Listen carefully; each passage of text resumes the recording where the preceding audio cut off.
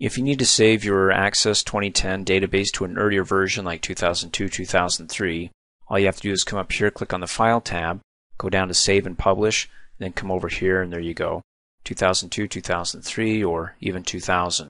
Go ahead and select it, click on Save As, and then it says you can't save this database in an earlier version because it uses features that require the current file format. These features include attachments, multi-value fields, offline data, macros, calculated columns. I mean, we may get to a point of no return because I'm looking at this going, okay, how much of this do I have to remove before I can convert it to an earlier version?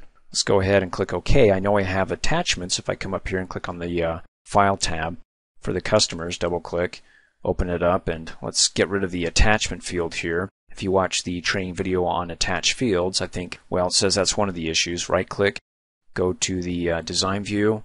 Let's go ahead and delete the attachment, say yes, click on view, save my work, and let's go ahead and close out. Let's go to file, down to save and publish, click on 2002, 2003 again, click on save as, and that was the culprit.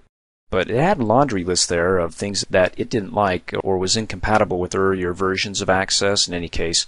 Let's go ahead and save this to the desktop and keep it as integration. There it is, 2002, 2003, click Save.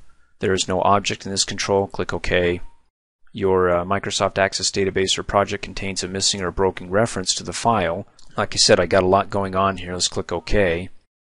We're still having issues. The database or project contains a missing or broken reference file. Click OK. And wow, Let's click on the drop down arrow and say we want to see all objects because you can see up at the top that the database is now in an earlier version.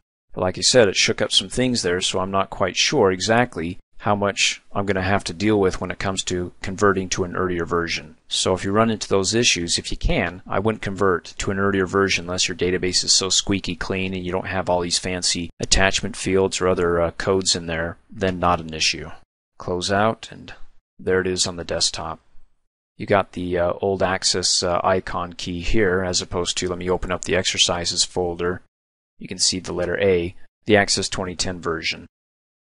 Thanks for watching. Hey, as a quick reminder, if you like my video, please give it a thumbs up. You can also click on me and subscribe to my channel to get notified of the latest videos. And for great specials on my products, please see the description below this video.